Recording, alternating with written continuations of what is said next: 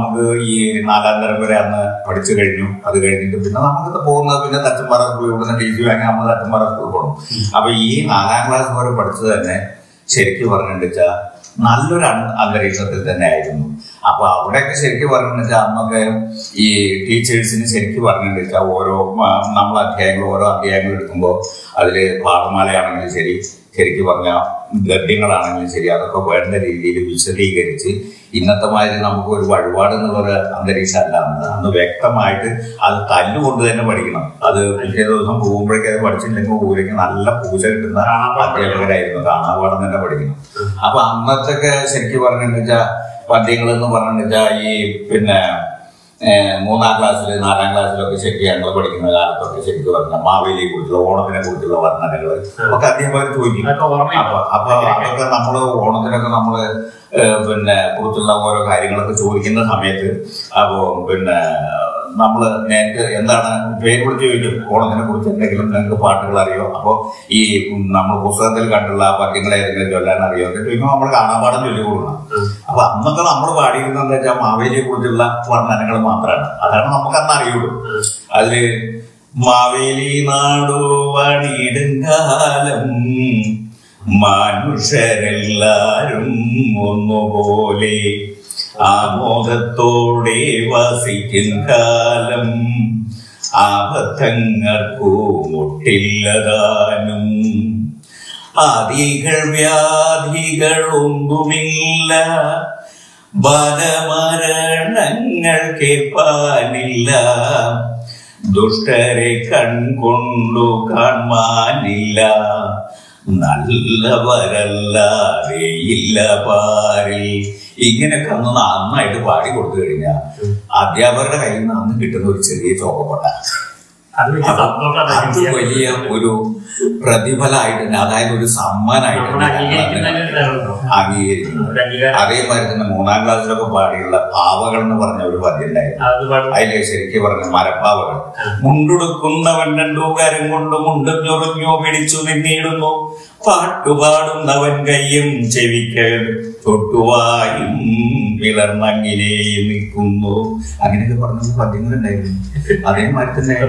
നാലിലൊക്കെ ഞങ്ങൾ പഠിക്കുന്ന കാലത്ത് ഈ പിന്നെ ശരിയായ രീതിയിൽ അന്ന് രാമൻകുട്ടി മാഷാണ് ഞങ്ങൾക്ക് മൈ ഈ മലയാളം പഠിക്കുന്നത് ഇവിടെ നാലാം. അപ്പൊ വന്ന്. അദ്ദേഹം പാടും. അപ്പൊ അതിനൊരു ഇത് കൊടുത്തിട്ടുണ്ടായിരുന്നു. കാരണം ഈ അരയന്നങ്ങളെ കുറിച്ചിട്ട്. അപ്പൊ ഈ അരയന്നങ്ങളെ കുറിച്ച് നമ്മൾ പറയുന്ന സമയത്ത് നന്നായിട്ട് പാടുന്നവർക്ക് ഞാൻ എന്താ തരാൻ പോണെന്ന് അറിയോ? ഒരു ചോക്കട പൊട്ടാൻ തരാൻ പോണത്. അപ്പൊ അതുകൊണ്ട് നന്നായിട്ട് പാടണമെന്ന് അദ്ദേഹം പറയും. അപ്പൊ അന്ന് ഞങ്ങൾ പാടുന്നതിൽ അതിലും അന്ന് പാട്ടുകാരനിൽ പ്രഗത്ഭൻ ഞാൻ തന്നെ ആയിരുന്നു എന്നുള്ളതാണ് രാമകുട്ടി ഭാഷ. അപ്പൊ നന്നായിട്ട് പാടില്ല പാടാറുണ്ട് എന്നാ പിന്നെ അത് പാടുക. അപ്പൊ പറഞ്ഞപ്പോ ദിനം തോറോ വെച്ച് കൊടുത്തൊരു വൈശ്യ തനായന്മാരായ കുമാരന്മാർ മുന്നം അങ്ങനെ അതങ്ങോട്ട് പാടി നിർമ്മിക്കുമ്പോൾ അത് മുഴുവൻ പരികളൊന്നും നമുക്കറിയില്ല. അറിയില്ല കുറേയൊക്കെ മറന്നുപോയി. പക്ഷെ അത് പാടി കഴിഞ്ഞാൽ ഈ പറഞ്ഞ പോലെ തന്നെ അദ്ദേഹം നന്നായി നന്നായി. ഒരു ചോക്കട പൊട്ട് അവിടുന്ന് മേശയുടെ കൊടുക്കുന്ന തന്നെ വലിച്ച് അതിന്റെ നടുവ് മുറിച്ചിട്ട് ഒരു കഷ്ണം പൊട്ട് തരും അപ്പൊ ഇത് നമ്മൾ മറ്റുള്ള ആൾക്കാരുടെ അതേ ക്ലാസ്സിൽ ഇരിക്കുന്ന മറ്റു വിദ്യാർത്ഥികളുടെ മുമ്പിൽ കൂടി ഒരു വീരശൃംഖല കിട്ടിയ പദവിയോട് കൂടിയാണ് നമ്മൾ സീറ്റിൽ വന്നിരിക്കുന്നത്. അന്നത്തെ ഈ ചോക്ക് എന്ന് പറഞ്ഞാൽ അന്ന് കടയിൽ പോയി നമ്മൾ കുട്ടികളെ ചോദിച്ചാലൊന്നും കിട്ടില്ല. മാഷന്മാരെ ചോദിച്ചാൽ തന്നെ കിട്ടുള്ളൂ. അപ്പൊ അങ്ങനെയുള്ള ഒരു അന്തരീക്ഷമായിരുന്നു അന്ന്. അപ്പോ ആ കാലങ്ങളൊക്കെ അങ്ങനെ കടന്നുപോയി.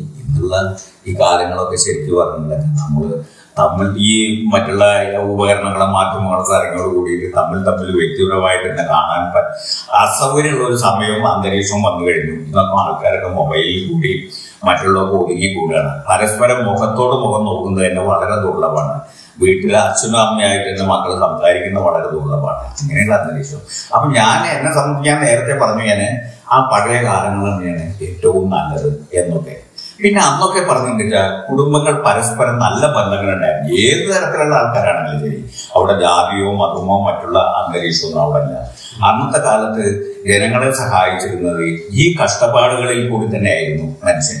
അന്ന് നമ്മുടെ ഈ പിന്നെ ഓരോ ഗ്രാമപ്രദേശങ്ങളിലൊക്കെ ഈ ചെറിയ ചെറിയ ധനസമ്പാദ്യം എന്ന് പറഞ്ഞിട്ട് ധനത്തിൽ കൂടി സഹായിക്കും കാശിൽ കൂടി സഹായിക്കുക എന്ന് പറഞ്ഞൊരു അന്തരീക്ഷം അന്ന് നിലനിൽക്കുന്നുണ്ടായിരുന്നു കാരണം അത് എന്താന്ന് വെച്ചിട്ടുണ്ടെങ്കിൽ അന്നൊക്കെ അത് ഓരോ വ്യക്തിയുടെ വീട്ടിലും കുറിക്കല്യാണം എന്ന് പറഞ്ഞ നടന്ന അപ്പോ ഈ കുറിക്കല്യാണം നടത്തുന്നത് എന്താന്ന് വെച്ചിട്ടുണ്ടെങ്കിൽ അന്ന് അവിടെ വരുന്ന വ്യക്തികളെ കുറച്ച് വീടുകളിൽ കൂടിയൊക്കെ പോയി ക്ഷണിക്കും ഇദ്ദേഹം.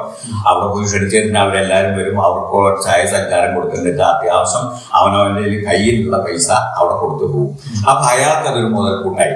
അങ്ങനെ അടുത്ത ഒരു പരിപാടി വരുമ്പോൾ ഇദ്ദേഹം പോണം. അവിടെ കൂടുതൽ സഹകരിക്കണം. ഇതിനേക്കാൾ കൂടുതൽ. കൊടുക്കണം. അപ്പൊ അന്നൊക്കെ ഈ ഇങ്ങനെയുള്ള ദാരിദ്ര്യ കാലങ്ങളിൽ മനുഷ്യന്മാർ തമ്മിലുള്ള ഒരു പരസ്പര ബന്ധം നന്നായിട്ട് നിലനിന്നിരുന്നു എന്ന് തന്നെ പറയാം.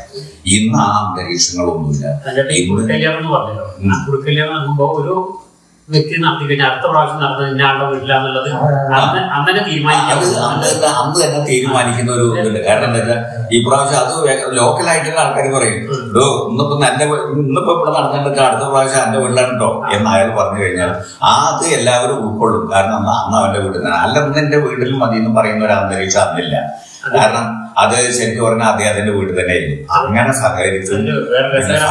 കാര്യം ഞാൻ പറഞ്ഞിട്ടുണ്ട്. ഇതിൽ പങ്കെടുത്തിട്ടില്ല എന്ന് വിചാരിക്കുക. പിറ്റേ ദിവസം രാവിലെ അവന്റെ വീട്ടിലേക്ക് ഓടത്തിക്കൊണ്ട് ഈ പോയ വ്യക്തികളുടെ വീട്ടിൽ അയാൾ അയാൾ വന്നു കഴിഞ്ഞിട്ടുണ്ടെച്ചാൽ അയാളുടെ വീട്ടിലേക്ക് മറ്റുള്ള വ്യക്തിയിൽ പോയിട്ടില്ലെങ്കിൽ അയാൾ നമ്മളെ ഓണക്കുട്ടി വെച്ചിട്ടൊക്കെ ചിലപ്പോ തെരഞ്ഞെടുപ്പൊക്കെ വരും. അത് ഇന്നത്തെ കാലം വരെ അന്നാലും ഉണ്ടായതൊന്നും പറയാൻ പറ്റില്ല. പക്ഷെ അത് ദാരിദ്ര്യം കൊണ്ട് കഷ്ടപ്പാട് കൊണ്ട് ബുദ്ധിമുട്ട് കൊണ്ട് അയാൾക്ക് കൊടുത്ത കാശ് തിരിച്ചു കിട്ടിയാൽ എനിക്കും അതൊരു വിനിയോഗിക്കാനുള്ള ഒരു അന്തരീക്ഷം വരും എന്നുള്ള ധാരണയിലാണ് അയാളുടെ അടുത്ത് പോകുന്നത്. അല്ലാതെ അയാളെ ഭീഷണിപ്പെടുത്താൻ കൊടുക്കാനൊന്നും അല്ല അല്ല അത് പറയാ. കാരണം നമ്മൾ ചാനൽ കൂടി സംസാരിക്കുമ്പോൾ അത് വേണ്ട വിധത്തിൽ സംസാരിക്കണ്ട. അതുകൊണ്ട് പറഞ്ഞു അങ്ങനെയൊക്കെ പറയാം. അതുകൊണ്ട് ഞാൻ ഇപ്പോഴും ഇപ്പോഴും ഞാൻ ആ അന്തരീക്ഷം തന്നെയാണ്. ആ കാലഘട്ടങ്ങളെ തന്നെയാണ് ഞാൻ ഇഷ്ടപ്പെടുന്നത്.